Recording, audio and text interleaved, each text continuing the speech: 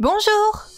Online フランス語学校 Ensemble en français 講師のバネッサです。今日もとても役立つフランス語の表現をご紹介しますね。はい。はいはい。わかりました。では明日必ず電話しますね。失礼いたします。今、同僚と話していましたよ。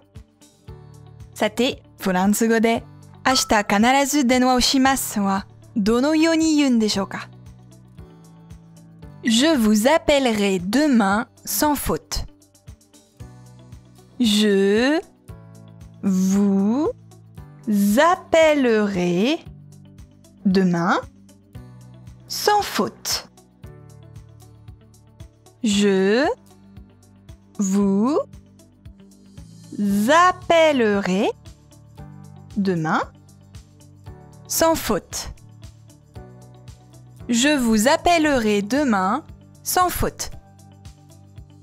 私はあなたに明日間違いなく電話をしますという文章です。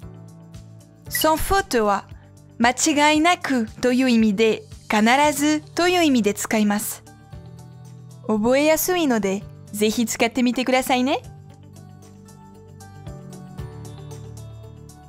さて、もっとフランス語を勉強したいという方は、Ensemble のレッスンでお待ちしています。Au revoir! À bientôt!